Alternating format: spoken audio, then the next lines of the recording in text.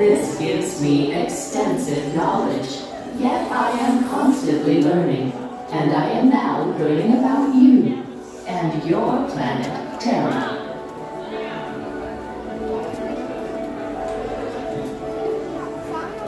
Much of my knowledge of your world came from your great scholar, Peter Quill.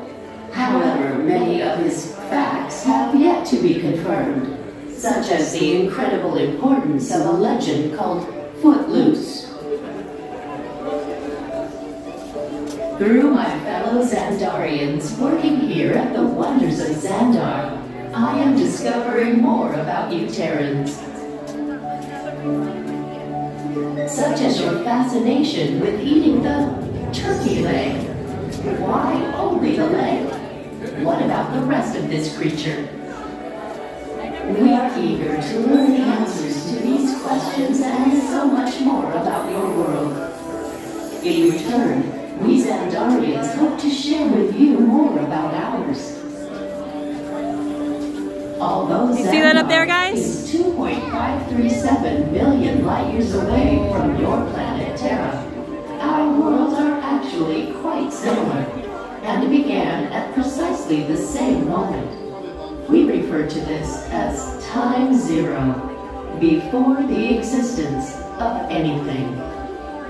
Our worlds were born of a single point of matter and energy that blasted outward in what you Terrans refer to as the Big Bang.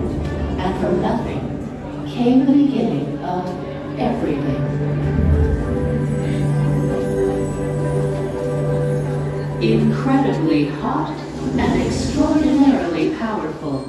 this explosion filled the cosmos with a cloud of rapidly moving particles. Over the next hundred million years, space continued to expand, and the particles cooled and slowed. As they coalesced into huge swirling clouds, gravity pulled them into larger, denser clusters. At the heart of these clusters, the temperature rose and the particles were compressed so tightly they fused, releasing enormous amounts of heat and light. This is how the very first stars in our shared universe were born.